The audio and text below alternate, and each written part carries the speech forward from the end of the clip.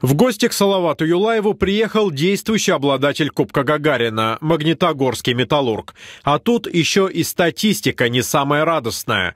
Шесть последних домашних матчей уфимцы проиграли подопечным Андрея Разина. Юлаевцы сразу предложили южноуральцам открытую игру, ту, которая так нравится нашим болельщикам. В отличие от матча с Ладой, юлаевцы не оставили болельщиков без голов в первом периоде. Стараниями Александра Хмелевского уфимцы вышли вперед.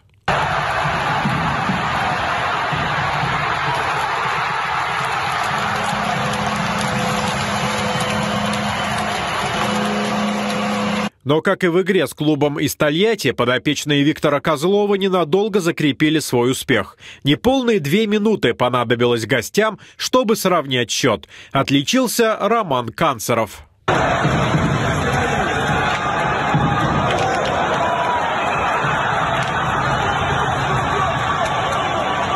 Первый период выдался богатым на шайбы. Ярослав Цулыгин, который в этом сезоне уже отличился дважды, снова приложился от синей линии от души.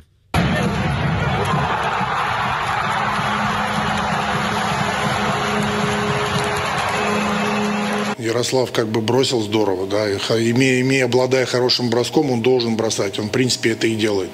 А, вот, и и защитники, в принципе, у нас э, все очень нацелены на ворота, как бы, поэтому хорошо бросил, хорошо попал.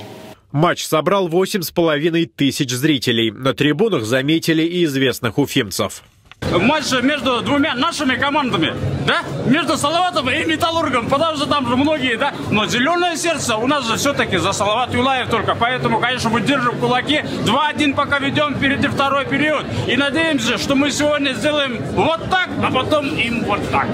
Голосуйте за партию Халат знает, хозяйка служит. На экваторе игры гости счет все же сравняли. Для Робина Пресса эта шайба стала всего лишь второй в сезоне, но такой важной. А потом команды подарили болельщикам массу опасных моментов, но основного времени игры, чтобы выявить победителя, не хватило. Все решилось в овертайме, не в пользу хозяев льда.